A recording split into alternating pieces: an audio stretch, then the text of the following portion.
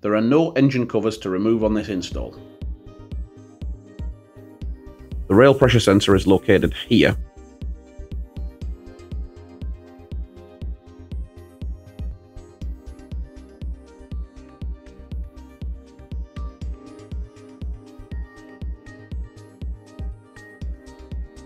Remove the rail connector by pushing down on its releasing tab, then pulling back on the connector.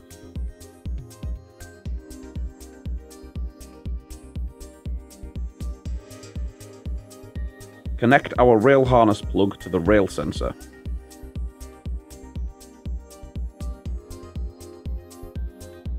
Then connect the factory rail connector to the corresponding plug on the supplied wiring loom.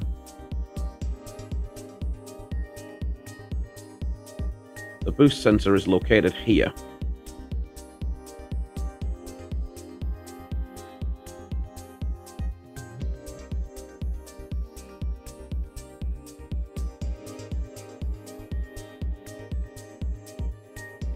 Remove the boost connector by first pulling back the locking tab, then pushing down on its releasing tab and pulling back on the connector.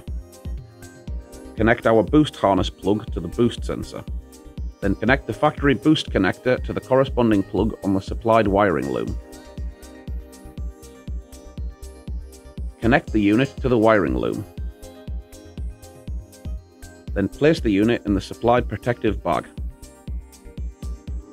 Route the unit and harness away from direct heat and moving parts. Then secure the unit and tidy the wiring loom with the cable ties provided.